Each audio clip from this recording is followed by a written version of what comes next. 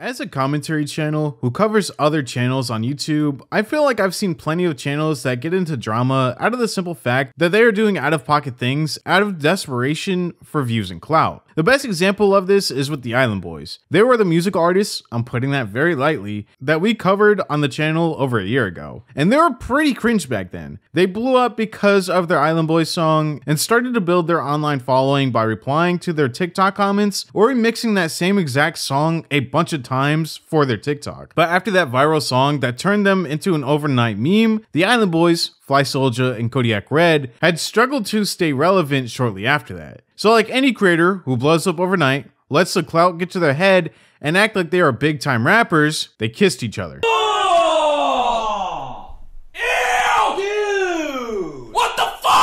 Okay, fine, that was just one of their public stunts that they did do to try to get attention after failing to capitalize off of their short stint in the creator limelight. But for the most part, it worked, at least for a few months, until they'd become irrelevant online once again. Today, we take a look back at the Island Boys and all of the insane things that they have been trying to do for the past couple of months in order to get buzz around their name once again, like hanging out with Jack Doherty at his house for his live streams, or jumping on live streams with Adin Ross and showing their meat in order to get internet news channels like Drama Alert to cover their online antics to again boost their online attention and clout. So strap in because today on the channel, I take you on a cringe roller coaster ride in order to look at the Island Boys rise, fall, rise, and fall again into irrelevancy and the many attempts to generate a buzz around their name. Now, if you're new to the channel and enjoy the video, please leave a like and subscribe to the channel. Now, let's get into the video. Now, we all know how the Island Boys got their fame on the internet, but I'll do a quick rundown of the events leading up to where we last left off in our previous video, which came out over a year ago. In October of 2021, the Island Boys exploded in popularity on TikTok when they'd post their first freestyle song, I'm an Island Boy.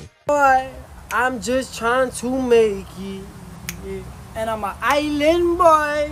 I'ma keep it like an island boy. Okay, that's that's enough of that. This TikTok sent them into an overnight success, but for all the wrong reasons. People started to clown on the Island Boys for the way they pronounced words during the freestyle and their whole style in general. From their clothing that they were wearing to their absurd hairstyle that was eye-catching but looked insane. They were easily clowned on by the internet, but this once again boosted their online fame. They'd reply to the haters within their videos, and it would only make them all that more viral. The Island Boys song blew up to over 20 million views on TikTok, and when they finally came out with the full song on their YouTube channel, that video also generated over 24 million views. But that was the most viewed video they'd ever receive on their channel. This freestyle was their pinnacle on YouTube and on TikTok, and they knew it. They'd rinse and repeat the song on TikTok a bunch of times with different lyrics every single time. But when they tried to upload new videos or anything else that strayed away from their original claim to fame, they'd get very little attention, which led them into a cycle of continuing to come back to the same old content. Now, for them, they may have thought the song put them on. Like there were some new musical geniuses who changed the game with their flow and line delivery. Boy,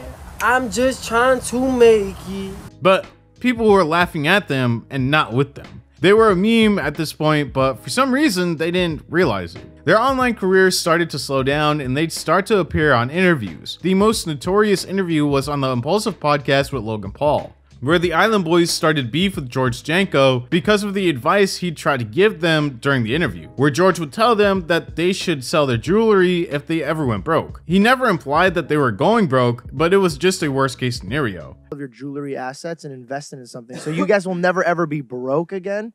So I don't think there's gonna ever gonna be a broke situation. But I'm saying like if you guys Jewelry it can't be worth that much, man. I don't think you're gonna flip that into Yeah. a retirement. no, you could definitely flip their Yeah. jewelry into For- a let me- down let- payment or something let for me tell- sure. one, let me tell you something. George, stop talking. We have multiple. Wait, that was Oh. hey, that was got- that was Nah, for he's you doing it. guys. yeah, you. you That wasn't like a I hate don't, shot. I don't need I don't Yeah. need financial Yeah, advice we don't when I need probably financial make more advice money from than you. you. But that was me being nice. It wasn't Okay. me being like an asshole. not I could be an really- asshole. I could turn it you up go- and be an why don't you asshole. go talk Being to an somebody asshole else is not about gonna that? go in your favor. But look, No, it that- could go in my favor. Like, you really don't want to go there, bro. I could go there Okay, you because could- I was giving you guys nice advice and you guys were being assholes. Hey, Okay, George, keep cool, talking, then I'm keep gonna walk out. I'm. I'm right here, you guys. Okay. that- So what are you trying to say? I'm just saying, you guys are throwing a lot of threats. I'm sitting right here. No one's I- no threatening one's you. threatening What the you. You is You guys said it's not gonna go my way. Yeah. This is not the Nelk Boys. We don't do fake over here. Yeah, what are you, you trying to scare me or something? I'm not scared of you, huh, man? All right, I'm not scared of you guys either. Okay, so just keep it like that. Feel me? I thi- I'm gonna I'm gonna step in for a Hey, second. George. here. Just, I, hold on. keep talking? No, no, hold on, hold on, I hold am. on. No, no, this hold is on. a podcast. No, Here, I'm moving for you. I was giving you nice advice, bro. I, I agree with that. Did I did I say anything mean? I- you fucked up. That makes no sense. What the Well, I fuck are you you- saying? no, I said if God forbid it doesn't work at out. Bro, Who are you? What's happening? Who's this guy? All right, hold on, hold on. Dude, What are you trying to show Let's off? let's let's I'm have. not showing up. I said if God forbid, which means an Hey, hey, accident. bro, If hey, God that's forbid a situation you know would happen. am.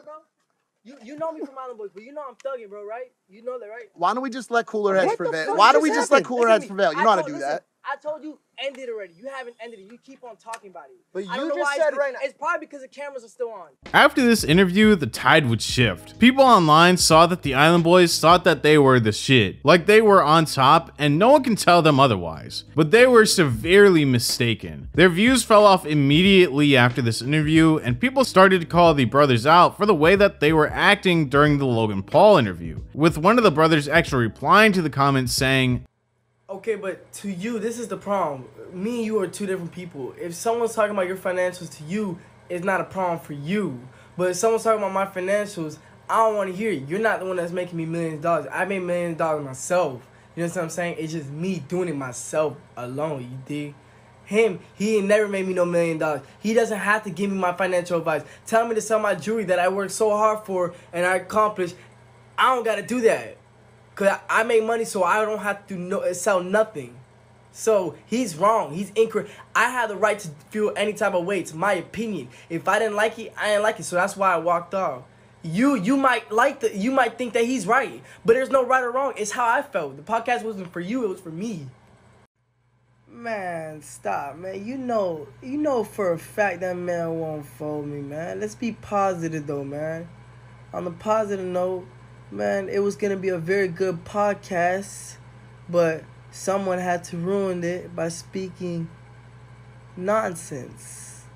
Later on, one of the brothers would get into some controversy with his ex girlfriend. He'd be physically and verbally abusive towards her on her live stream and offline. This was documented by her on Instagram, stating, Y'all want to be an island girl so bad. Go ahead and be one. Let me show you what it's like to be an island girl, beat on every day, treated like nothing. Don't believe the fairy tale they sell you. This was bad press for Flyysoulja, and with the claims of him abusing his girlfriend, it just soured the taste of anyone who was still supporting the duo after how they handled the impulsive drama with George. Then the Island Boys ex manager would go on the No Jumper podcast and tell Adam that the Island Boys owed him a ton of money, over $100,000, and that they made all their money off of Cameo, usually taking a full night in order to fulfill as many cameos as possible within a short time frame to generate as much money as possible. But even the Cameo money was starting to dry up at this point, and they were struggling financially. The ex-manager would also tell Adam and company that he walked in on the Island Boys doing some pretty weird stuff together in the bathroom. The Island Boys thing. What's going on?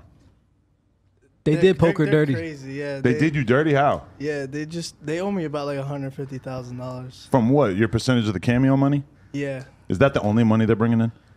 Um, mostly maybe a little bit on TikTok, but I mean it's pretty much run dry at this point. Right. Two three hours a night straight cameos, but like that's literally What a their only source of income, Holy shit. and um, it's pretty much over. So what now. happened? What happens when nobody wants a cameo anymore? Yeah, because mean, that doesn't feel like it's gonna last They pretty forever. much they're, they're canceled everywhere. Like they can't really go outside like that. right. They definitely canceled it. No jumper. Island Boys got kidnapped. You told me they was Yeah, doing some right. sus shit in the room that one day. Niggas was touching each other's penises Yeah, or I don't whatever. even want to. Wait, what? Yeah, yeah, Island Boys got kidnapped. I don't know where the whole gangster thing comes from. Like They hit a little Island 69 or what? I no, like I literally like I was not I was in the house living with them like, Uh-huh. full time. I was like their daddy. Yeah. And I was like knocking on the door and I'm like, yo, open up the door. Like, nah, bro, like you can't open the door. So I opened the door with a credit card. and like, you, nah, you lying. You're lying. You're lying. You're I'm lying. You're lying. I got in the room and they was in the bathroom, bro. And the door was like, I'm, I opened the door, bro. Like both their pants are down.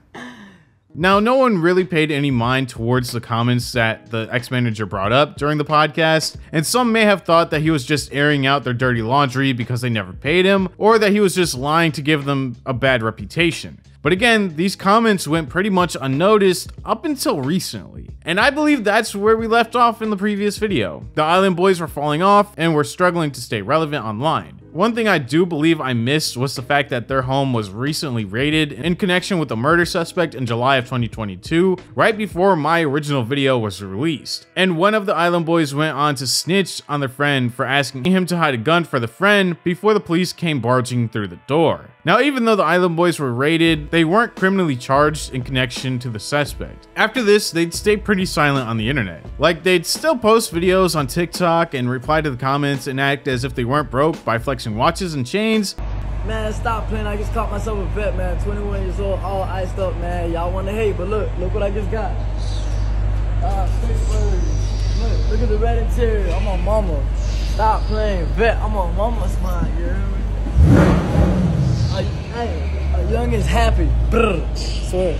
But at this point, they were practically forgotten about from the online world. The Island Boys song was dead, and because they were a meme and held no other value other than being something to point and laugh at, their online popularity was completely gone. But in the summer of 2023, they'd hit an all-time low and would try literally anything in order to remain relevant. This strategy to become relevant again all started in the beginning of the summer when they'd start to promote their OnlyFans to their followers. But because they were forgotten about, they needed to act out on the internet in order for people to remember them and gain traction to their OnlyFans account. Drama Alert's Twitter account would tweet out a video of the Island Boys making out. And this was pretty horrible. These are two twin brothers who are 100% related to each other, and this this is incest and extremely weird at this point. And when people started to call them out for their constant need for attention, they doubled down on their actions and uploaded even more videos of them kissing each other to the internet. It would tease their followers, acting as if they were going to post videos with each other over on their OnlyFans account. This was when they'd really start to become relevant again, but once again, for all the wrong reasons. They'd hop on the No Jumper podcast for another interview where Adam22 would ask them their thinking process behind kissing each other, and they'd say that they knew the clip would go viral because people hated them and it'd be shared with a bunch of people online. They'd also say that they were heterosexual even though they were kissing each other in the video. Kind of by surprise. Yeah, so it was kind of unexpected, but um, we kind of we started off by just showing us like with our underwear on Twitter, and they're like people were like it was almost like they're like you guys won't kiss, and I thought about it like for a couple days, and I'm like wait that'd be a good idea. I did some research on it, like kissing your brother is it illegal? Is it a problem? Stuff like that, and it's actually not that big of a deal. In some in some religion uh religions they do it, so. Yeah, I don't know about making out, but kissing, yeah. Okay. So when I think about making out with my sibling, like in my case, I have a sister, so it's kind of hard to imagine having a twin brother, but I feel, I don't know, like a natural biological sense of revulsion by the idea. And even like, well, I, I you know, I'm heterosexual, so I guess that kind of makes sense. But like, even I'm, I'm looking at one of my friends who's sitting right here, and I'm, I'm trying to picture myself making out with him, and it just really sounds unappealing how did you get over that? Were you were you disgusted by the idea at first, or or or how, like I, I don't even know where to go with this. Like how how did you feel about it? I mean, we're, we're twin brothers. We came out the womb together. We grew up together. It's not really disgusting if it if it's twins. Um, your friend, you don't really know him like that. We're still heterosexual. Yeah, yeah. So we still we kind of just made out or whatever. We kissed and then we just like looked the other way for a, a few minutes and couldn't like you know look at each other. But it wasn't that big of a deal. Just a kiss. So it didn't No. feel sexual. It didn't feel no. If you don't put too much thought to it, it didn't feel sexual.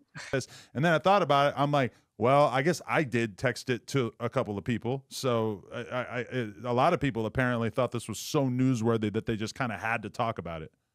Well, I- it was trending on academics page for sure. Right. His Yeah, his was probably like the your biggest mom, one. Like if your mom knew who we were, they're like something that talk about because people really don't like us. So like, hey, look, we got something on them. They kissed each other, so we kind of knew it'd go viral.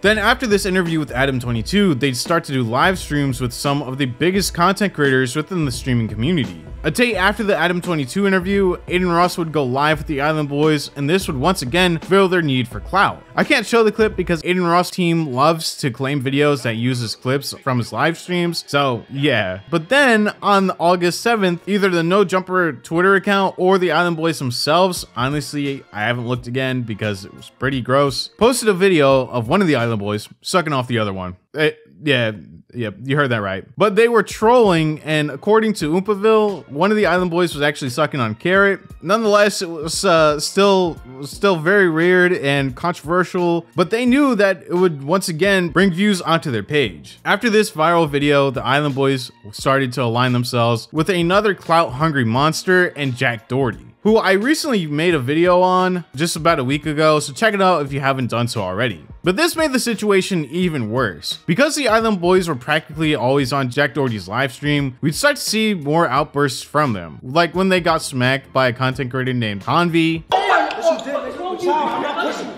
friendly fire, friendly fire, okay? Like, don't Jesus, that's Bro, don't touch me, bro. You don't touch me on what, nigga? Bro, what? Bro, And also when they slapped Jack Doherty. But after their three months of fame, they'd fall off again. See, the issue with their kind of content and brand, which is like shock content, is that it's just a flash in the pan. They never got popular for being good at something. The first time that they went viral for their Island Boys song, people were shocked with the way they looked and spoke. This last time that they went viral was because of the shock and horror that came along with the video of them kissing each other. Yeah, this gave them some clout and eyes back on them for a few months, but because their brand is ever revolving around shock factor, their popularity will never be everlasting. And because they couldn't even build a fan base because of the way that they acted towards people online and in person, they couldn't even get people to like who they were as individuals. They weren't even likable, which was another reason why they couldn't remain relevant. We see people blow up on every platform, sometimes for controversial things, but people still personally like the individual, but they don't like their actions, which can't be said for the Island Boys. This was the second time within two years that they went viral, but again couldn't capitalize off of their virality, leaving them in a state of irrelevancy but this probably won't be the last time that we see the Island Boys in drama. Mostly because if they align themselves with other clout hungry creators, they will always have eyes on them. They are almost exactly like Jack Doherty. They both do things in order to get a buzz around their name, but they do not care who they hurt in the process. They are all leeches, and once they dry up one venture, they'll be on to the next one to use it until it runs dry as well. But this is the end of the video. How do you feel about the Island Boys and their constant need for clout? Is it worse than Jack Doherty's, or is Jack Doherty worse? Let me know in the comments below. If you have any creators or video ideas that you wanted me to take a look at or talk about, the best way you can suggest them to me is through my Instagram DMs or on my Discord. Now, there are some major updates happening to the Discord server where you can earn Bills coins in order to buy roles within the server. So come check it out. If you found yourself enjoying the video, please leave a like and subscribe to the channel. It really helps the channel out and gets us closer to 200,000 subscribers. And it also helps you stay up to date with the newer uploads to the channel. Thank you all so much for watching and I'll see you in the next video. Minecraft has been around for quite some time, and during that time, Minecraft became this big subgenre of gaming content on YouTube. These videos uploaded to the platform generated billions of views in total, and made the careers of many Minecraft content creators. But the genre wouldn't be without its flaws, because Minecraft catered more towards a kid audience